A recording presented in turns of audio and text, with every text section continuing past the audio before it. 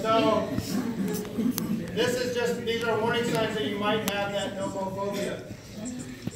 2017, AAA did a study. They said one in three people admitted that they do this regularly or fairly often in their car.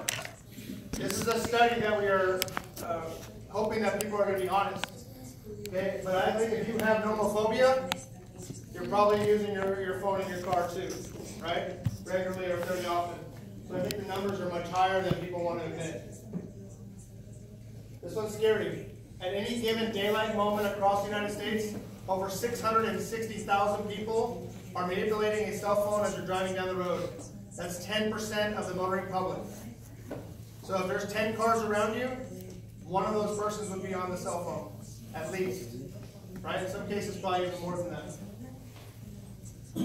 2015, 391,000 injuries. 2016, 3,400 deaths. More people die every year from distracted driving than died in 9-11. We just remember 9-11 uh, a few weeks ago. Uh, tragic event in U.S. history, yet we lose more people every year to distracted driving. And nobody talks about it. Nobody remembers it. Right? Three types of distraction.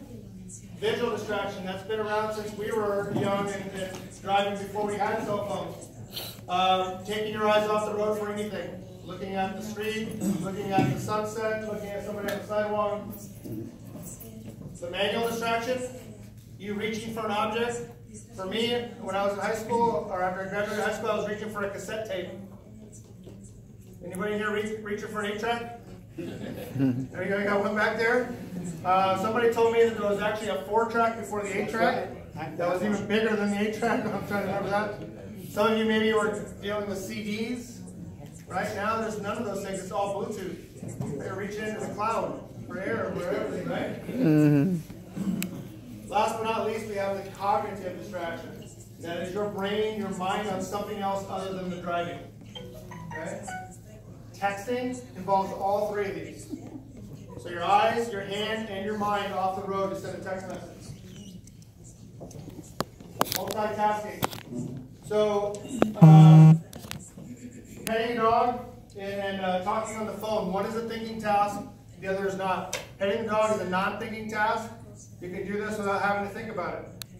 Uh, but talking to somebody on the phone, you're actually having a conversation with that person. You, you're thinking about that conversation. You can do that, no problem. That's not multitasking because there's not two thinking tasks. But now we have two thinking tasks. Reading a book and talking to somebody on the phone. Has anybody tried that? Reading something in front of them and talking to somebody? You're either missing the conversation or you're missing half of what you're reading. You can't do it, right? Your brain can't do that. Have you ever tried to eavesdrop on someone else's conversation when you're talking on the phone too? If you hear somebody else talking, same thing. You're not hearing what they're saying in your ear. All you're hearing is uh, their conversation.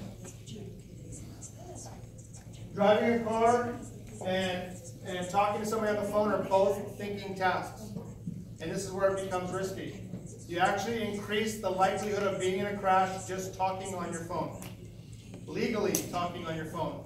You're more likely to crash. We'll talk about those numbers in a second.